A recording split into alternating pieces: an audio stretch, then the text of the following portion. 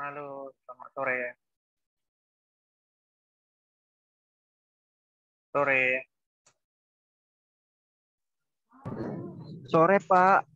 Ah, kok lama kali kalian? Udah sampai 10 menit. Udah bosan? Aku baru balik kerja ini, Pak. Mau balik. Hmm, yang lain? Kurang tahu, Pak. Keren wah. Ini baru balik, Pak. Bentar lagi mau nyampe. Udah hati-hati. Ya, Pak. Makasih ya, Pak. Oh. Yang lain mana nih?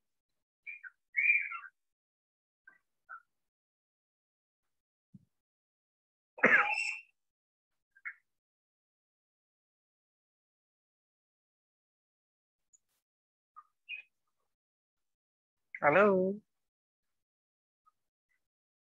Sindu. Mana temennya disuruh masuk?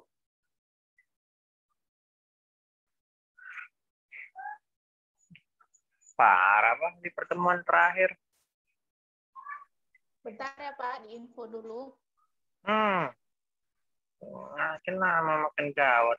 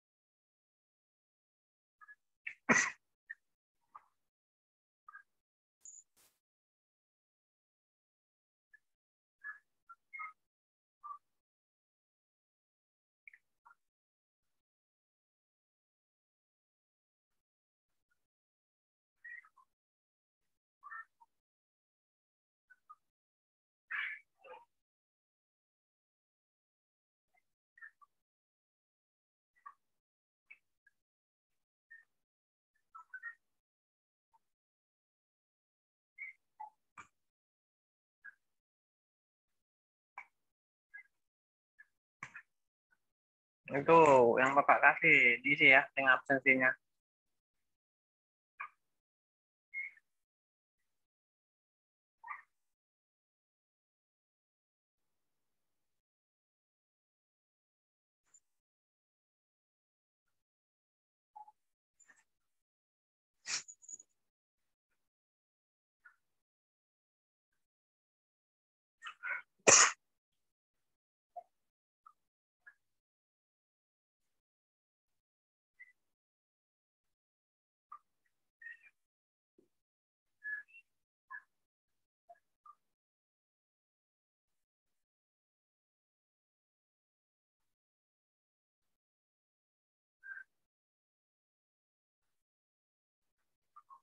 Sudah diisi absennya. Yang Bapak kasih linknya.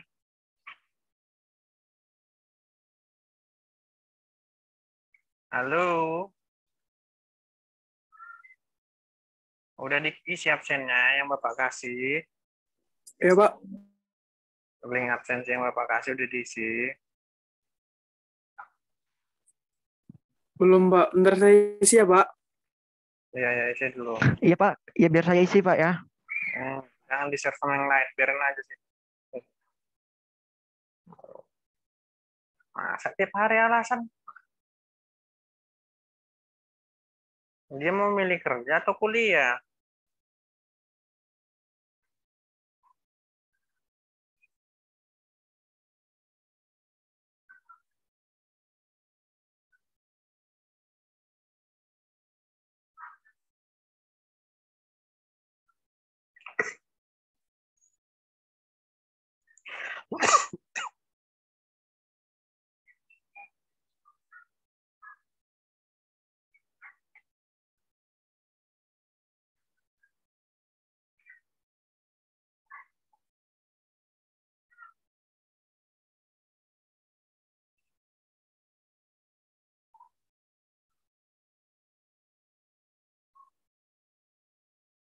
Sudah?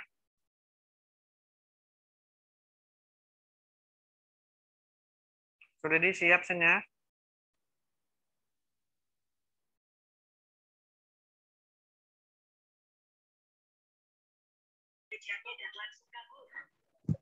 Sudah disiap Absensinya di GC ya, Pak? Kan ada Bapak bilang yang di link. Gak didengar. Oh, iya, Pak.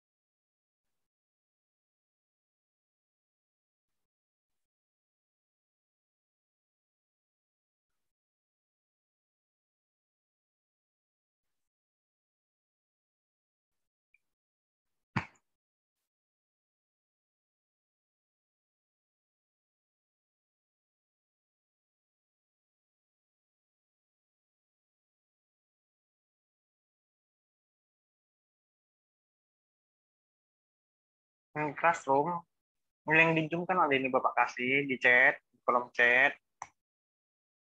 Tentu absensinya. Udah, Pak.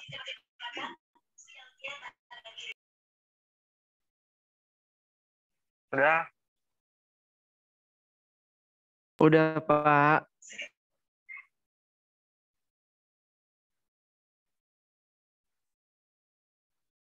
Bentar, ini ada berapa orang masuk? Dua, empat, empat. Sama si Aksay Kumar, masih antri.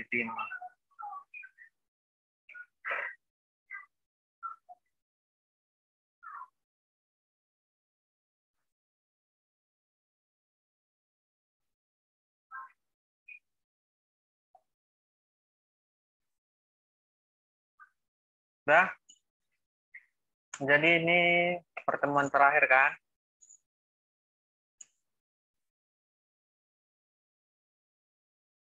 Ya tidak, pertemuan terakhir tidak. Iya, Pak. Oke. Jadi di sini ada konsep polimorfisme pada Java.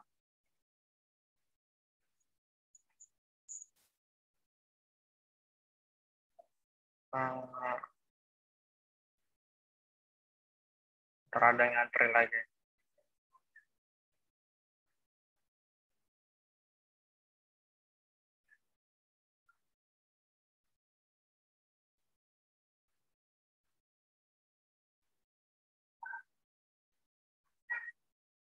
Jaringannya susah ya? Udah. Jadi, untuk yang bermasuk, isi dulu ini absensinya yang di kolom chatting ya. Terima kasih.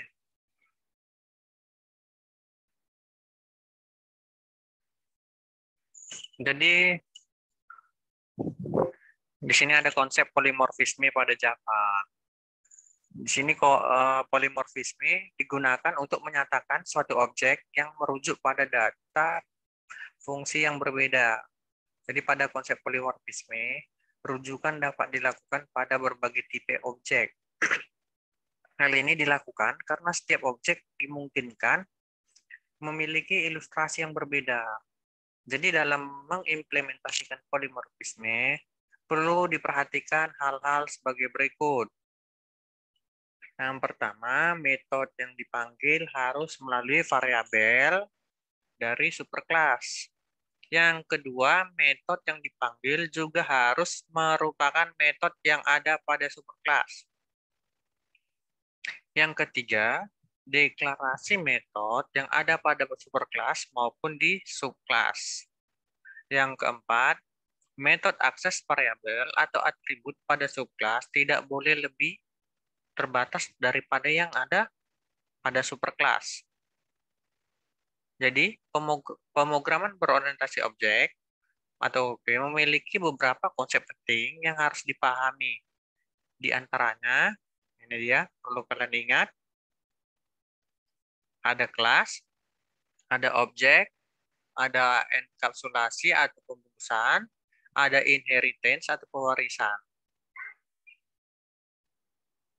Kemudian pengenalan polimorfisme. Poli artinya banyak, morfisme artinya bentuk.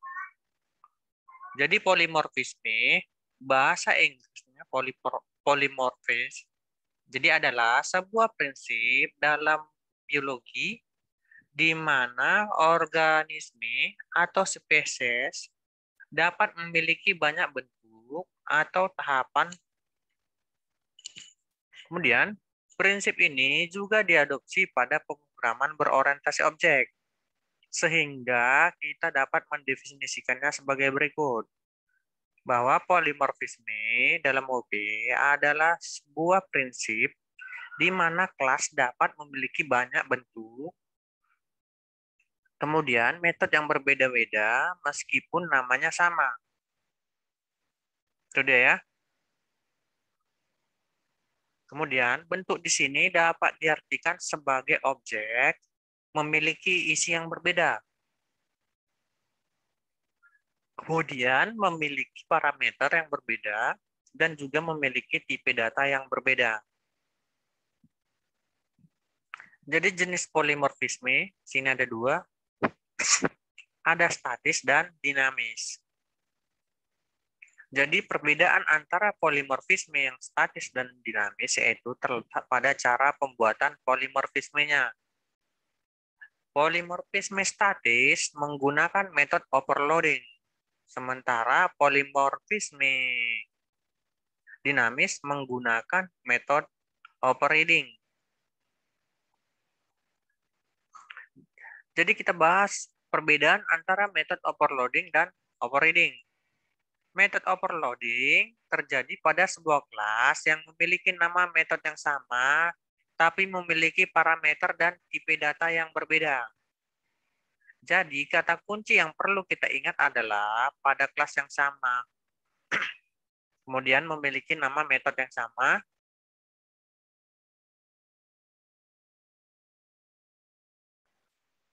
Sudah dengar lagi? Halo, sudah dengar? Tadi terputus? Udah. Dengar, Pak. Oke, mohon maaf ya, di sini mendung. Jadi mungkin putus-putus. Jadi di sini kata kuncinya yang perlu kalian ingat, yaitu pada kelas yang sama, memiliki nama metode yang sama, dan memiliki tipe data dan parameter yang berbeda.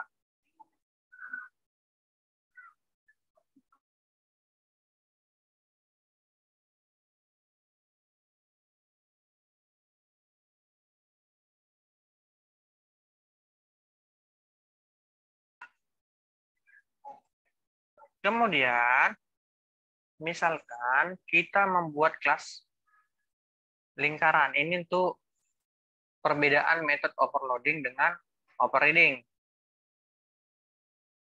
Jadi, misalkan kita membuat lingkaran. Jadi Java yang memiliki metode luas, di mana metode luas disebut dapat memiliki parameter yang berbeda. Contoh, kita akan menghitung luas ling, luas lingkaran berdasarkan jari-jari atau radius dan berdasarkan diameter. Maka kita dapat membuat kelas-kelasnya seperti ini. Kelas lingkaran, ini dia untuk contohnya. Jadi nanti bisa kalian buat Di sini namanya kelas lingkaran. Nah.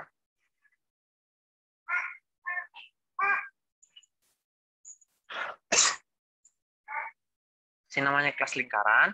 Kemudian di sini dijelaskan untuk programnya bahwa ini adalah program untuk metode untuk menghitung luas jari-jari dengan jari-jari. Jadi bagaimana rumusnya? Dia seperti ini plot luas dalam kurung plot R. Kemudian return dalam kurung plot, kemudian dalam kurung lagi mat titik P kali R kali R. Berarti P kuadrat kan? PR kuadrat kan? Kemudian kita masuk ke program selanjutnya. Di sini ada keterangannya. Ini metode untuk menghitung luas dengan diameter. Jadi programnya dia berbeda ya.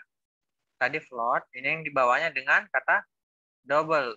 Double luas dalam kurung nanti double D, kemudian return double. Jadi dia menggunakan rumus yaitu seperempat dikali med P dikali D. Jadi di sini ada keterangannya. Pada contoh di atas, kita dapat lihat kelas lingkaran memiliki dua metode yang memiliki nama yang sama, yaitu metode luas.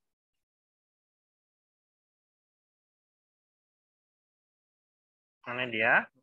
Ini yang satu dan yang satu lagi yang ini dengan keterangannya baca di sini tadi di sini kelas lingkaran memiliki dua metode. Yang tadi menggunakan float, yang kedua menggunakan double. Yang memiliki nama yang sama yaitu metode luas. Ini dia, ya. Jadi yang memiliki parameter dan tipe data yang berbeda dan memiliki rumus yang berbeda. Tadi rumus pertama yang ini, rumus kedua yang ini.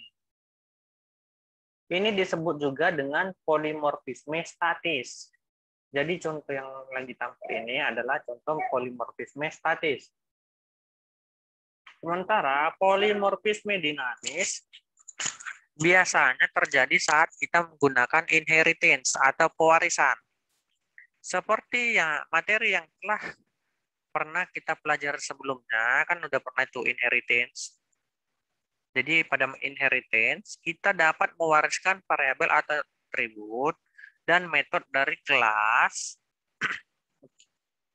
dari kelas induk atau parent class ke kelas anak atau child class. Jadi kelas anak akan memiliki nama metode yang sama dengan kelas induk.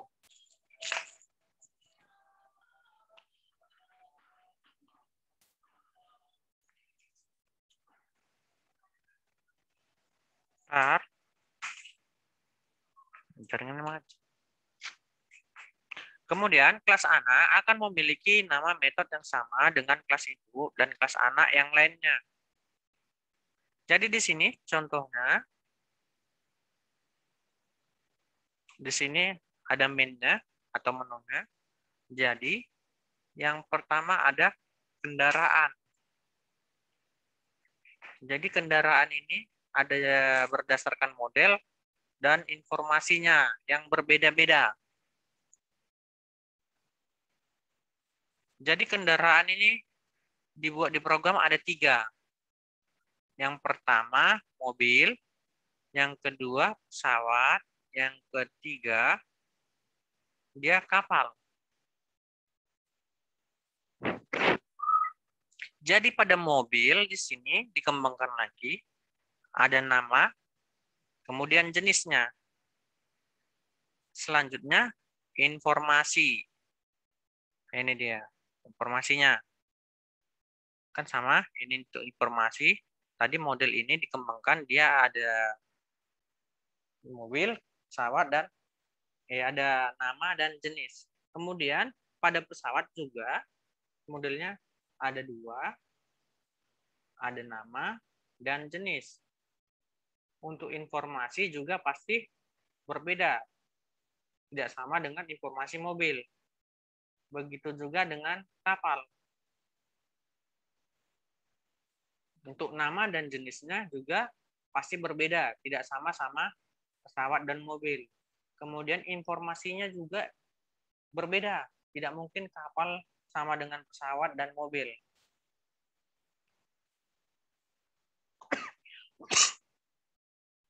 Jadi nanti kalian bisa lihat link ini bisa kalian lihat? Ini videonya Pak Adli. Ini bisa kalian lihat kan? Bisa, Pak. Bisa, Pak. Ah, jadi ini kan Bapak ini yang buat materi.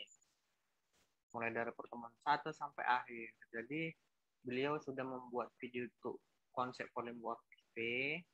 Nanti bisa kalian copy paste link ini ya. Bisa kan? Ya, Pak. Bisa, Pak. Bisa, Pak. Siapa tahu itu ujian yang dibuat Pak Adli. Karena beliau yang membuat soal. Tapi yang meriksanya Bapak lah kalau kalian. Oke, cukup itu saja materinya. Ada yang apa? Mau ditanya dari pertemuan pertama?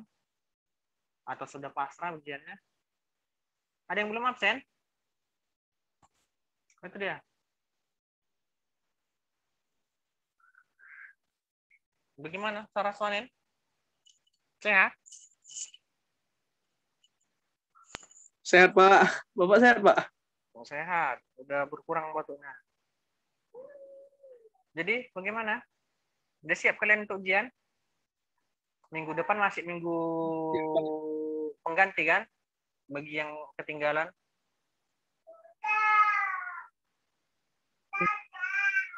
Hmm. Jadi ya siap-siaplah kalian.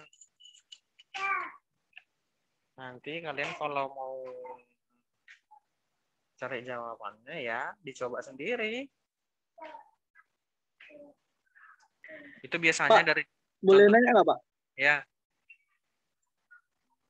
Pak, kira-kira kunci supaya kita cepat paham program itu apa, Pak? Yang dipahamin? Rumusnya atau gimana? strukturnya.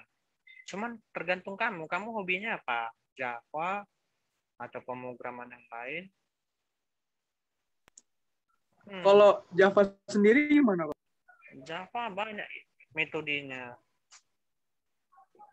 Seperti yang kamu lihat lah, kan banyak kan? Ada inheritance atau pewarisan, ada yang parent, ada ada child, kemudian apa lagi? Banyak ada polimorfisme. Nah, cuman tergantung kamu ya. Kalau mau yang untuk bagian game lain lagi.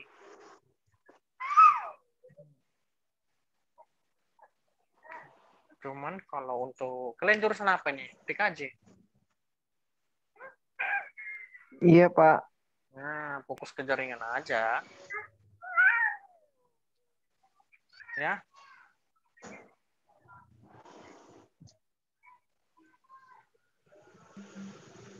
Tapi kalau misalnya dari TKJ pengen kerja jadi programmer gitu bisa Bisa. Cuman ngapain pindah ke programmer? Makanya kalian kalau ada uang, memang ambil kalau kalian ada uang, ambil les les apa namanya? Les Cisco. Dia ada empat level. Di Medan banyak kok Pak les Cisco. Ada web media, ada apa lagi? Pokoknya kalau kalian udah punya sampai level 3 aja, udah wow, luar biasa. Udah bisa kalian jual mahal. Iya, itu berapa biayanya, Pak? kemarin berapa ya? Zaman Bapak dulu 2011 2011 ya. Sekitar 12 atau 13 juta sampai level 4. Tapi kalau nggak lolos ya sama aja. Nggak ada guna. Misalnya kita kalahnya di level 2 ya udah, leong lawang kita itu. Makasih banyak, Pak. Cuman Pak, kan permisi Pak. 6 bulan itu berarti sebulannya sekitar 2 juta. Ya, kenapa itu? Siapa tadi? Stanis. Itu kan aku Pak Raffi. Ah, kenapa Raffi? Di SMK saya dulu belajar Cisco juga Pak. Udah sampai ke server dari juga ke VLAN gitu kan. Oh, Tapi saya masih bingung itu Pak. Itu kan itu kan saya belajarnya berbasis di software. Cisco itu ada alat aslinya kan Pak. Itu kayak mana Pak? Konfigurasinya apakah sama gitu dari Cisco yang kita pelajari Sama, di sama, softwarenya atau kayak mana sama, Pak? Sama persis. sama. Jadi Cuman itu kan gini kan Pak, kamu kan misalnya selama ini pakai Cisco pak Cis- Cisco pakai tracer kan selama ini kan? Iya, nah sama. Cuman bedanya ya itu kita main di software. Kalau yang ini langsung colok-colok kabel pasang-pasang kabelnya berarti Pak kalau kita les Cisco itu kita mainnya di langsung yang asli gitu Pak. Nah, pertama pakai tracer dulu. Sampai berapa level? Sampai level 2 kalau nggak salah. Nanti udah paham, langsung terjun. Masuklah ke le- level 3 4. Cuman yang jadi masalah ujiannya mulai dari level 1 sampai level 4 soalnya bahasa Inggris. Karena Cisco-nya langsung buat soal.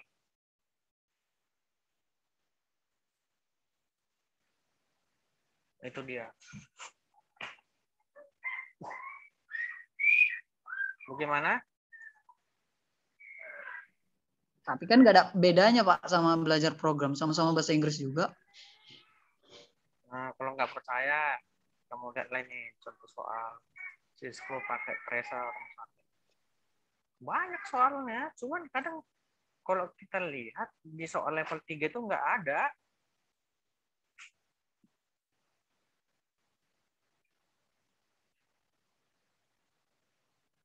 Soalnya bahasa Inggris.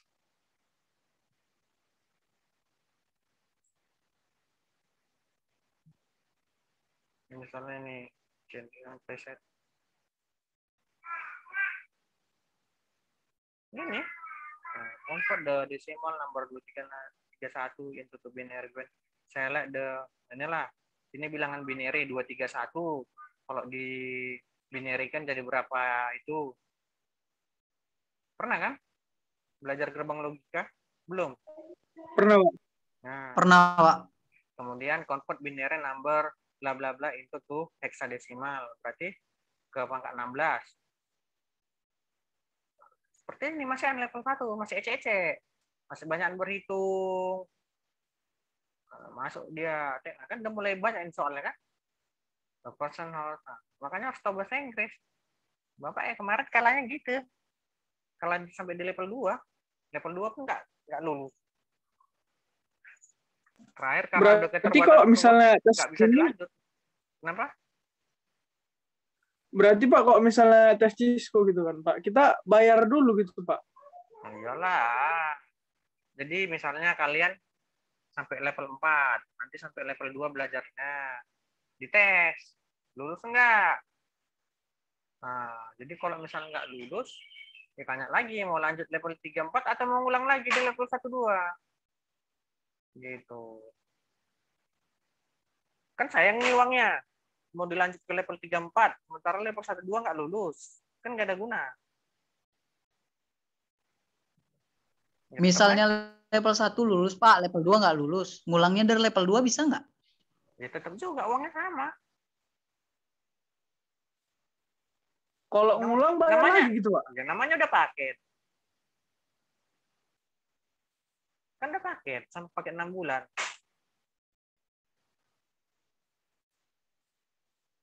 Nah, itu dia. Kalau dia hitungannya per paket, mahal. Satu paket 4 juta kalau nggak salah. Hmm. Jadi kalau udah sampai level 2 udah 8 juta. Kan nggak mau orang kan, baru sampai level 4, siapa tahu lulus. Ya kan? Iya. Hmm. Cobalah cari-cari banyak kok di Medan. Kalau kalian mau fokus ke situ ya. Karena udah jenjangnya ke situ semua, minta itu. Jadi nanti kalian kok udah ada itu melamar ke perusahaan besar lah. Yang link internasional, yang linknya udah internasional seperti apa? Misalnya perusahaan Tracket, Cat itu yang mobil-mobil berat itu. Nah, Ya kan perusahaannya di internasional kan, ada di Malaysia, ada di India, ada di Indonesia. Nah. Usah Pak, di situ, di, di Boleh naik lagi Pak. Nah, iya. Jadi kan gini Pak, nanti kalau kami lulus ini kan ijazahnya tercantumnya kan TKJ, Pak. Apa bisa, Pak, pakai ijazah TKJ itu ngedaftar jadi program? Nah, Bisa-bisa saja. Tergantung kamunya nanti waktu dites. Pak, programmer itu butuh izin rupanya, Pak.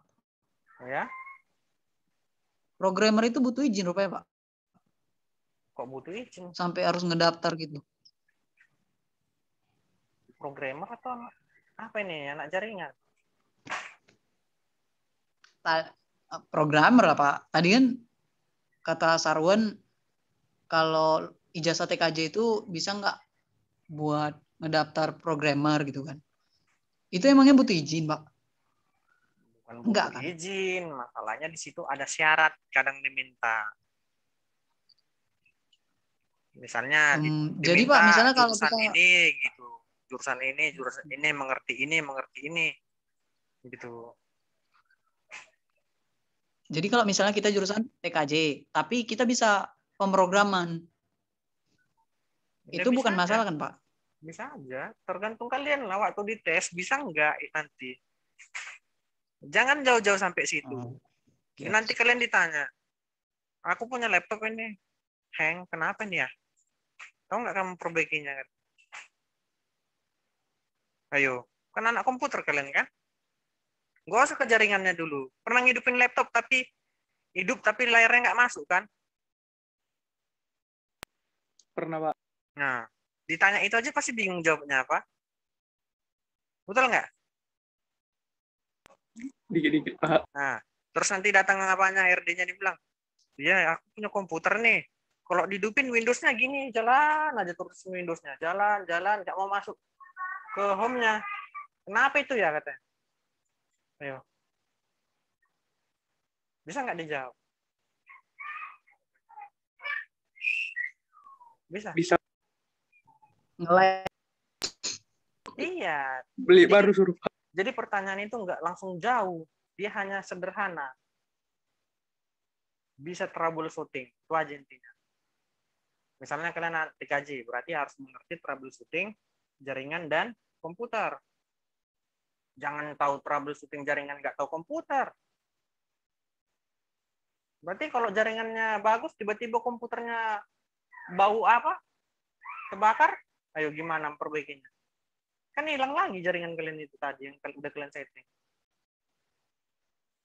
Jadi harus ngerti dua-duanya. Makanya waktu jurusan TKJ kan dilatih membongkar CPU kan? Ya kan Raffi? Iya, Pak. Ah, sejalan itu. Iya, Pak. Tahu jaringan harus tahu membongkarnya. Karena nggak ada gunanya tahu jaringan tapi nggak tahu bongkar. Sama aja nggak dipakai bos. Masa bos harus gaji orang apa atau bayar-bayar orang tuh perbaiki komputer di perusahaan? Pokoknya pelajari. Kalau programmer harus tahu memperbaiki komputer dan tahu membuat program dan database. Pokoknya komputer itu dasarnya.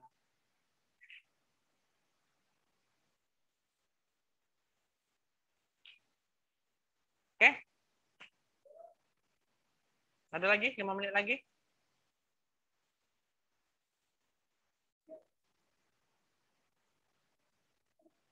Halo, macet-macet?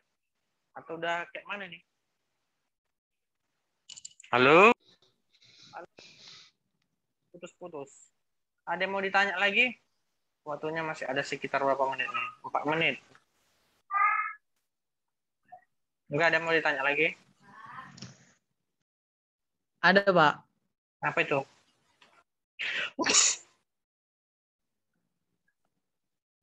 Dari bahasa pemrograman Java, itu apa aja yang bisa kita lakukan? Banyak, Bang.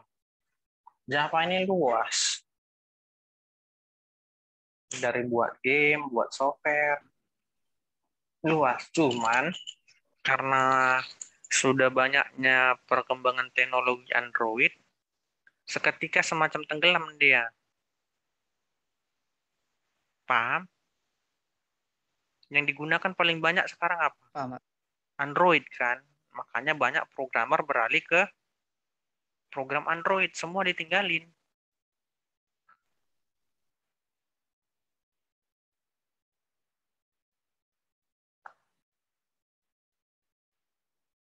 Makanya sering itu atau kalian kalau pernah nonton Kick Andy ada itu kemarin pernah diundang dia seorang disa- disabilitas. Dia anak kuliah di mana ya? IPB atau di ITB atau di mana? Dia kemarin tuh pada saat itu semester 4 dia sudah buat program Android dan sudah terdaftar terdaftar di Play Store. Program untuk bahasa apa sih orang yang nggak bisa ngomong? Gini-gini gini-gini. Apa tuh? Bahasa isyarat. Bisu Pak. bukan bisu Nggak istilahnya bisa cakap, Pak. bukan bisu ada bahasa itunya Nah, jadi dia udah berhasil Tunarunggu, Pak. ah ya jadi ngerungu jadi itu programnya udah sampai keliling dunia dipakai kaya dia kan masih anak kuliah udah kaya padahal dia orangnya disabilitas hmm.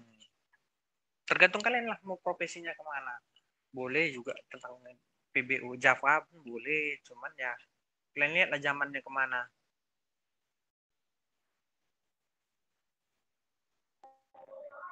Pak, boleh naik lagi, Pak? ya ya terakhir lah ya Eh, Pak. nah soalnya Pak, lebih efektif mana, Pak, kalau kita buat game? Lebih baik pakai bahasa Java atau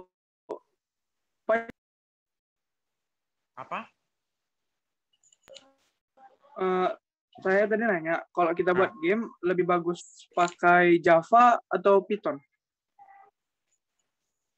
Kalau game lebih bagus Java. Cuman kalau untuk sistem keamanan lebih bagus pakai Python.